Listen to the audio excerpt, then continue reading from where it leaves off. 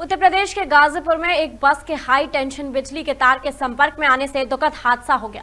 आपको बता दें कि हाई टेंशन बिजली के तार के संपर्क में आने से बस में आग लग गई, जिससे पाँच लोगों की मौत हो गई। वहीं कई लोग झुलस गए हैं। वहीं इस हादसे पर नगर विकास एवं ऊर्जा मंत्री ए के शर्मा ने दुख व्यक्त किया है और इस मामले पर संज्ञान लेते हुए उन्होंने तीन अधिकारियों को निलंबित कर एक कर्मिक को सेवा समाप्त कर दी है।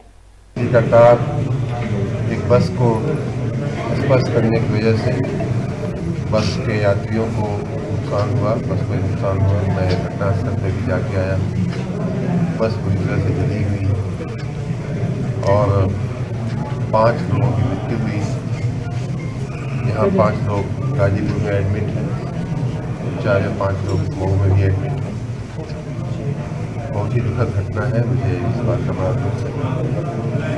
बिजली के लोगों की सतर्कता से बढ़नी चाहिए, इसका मैं स्वयं, मैं आभास कर रहा हूँ।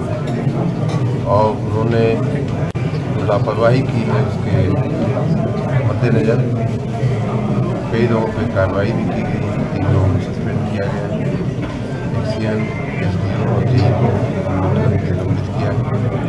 नाइन मैन को इस समय समाप्त कर दी गई बर्खास्त कर दिया गया ऐसी घटनाएँ फिर न हो इसके लिए हमने चेयरमैन भी सूचना दिया है कि इसलिए इससे क्या क्या लेसन ले सकते हैं?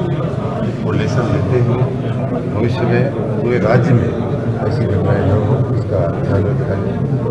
मैं स्थानीय प्रशासन की बहुत प्रशंसा करता हूँ। डी एम एस पी और अस्पताल के प्रशासन की मैंने जैसे ही खबर मिली, मैंने डी को फ़ोन किया, उनको सारी जानकारी थी एस पी भी मौके पर मौजूद थे। मैं उनकी प्रशंसा करता हूँ, उनके कार्यों की। और आशा रखता हूँ कि जो घायल हैं, वो शीघ्र शरीर ठीक करेंगे। जो दिवंगत हो गए हैं, उनकी आत्मा को ईश्वर शांति देंगे और उनके परिजनों को व्यापार दुख सहन करने की शक्ति देंगे।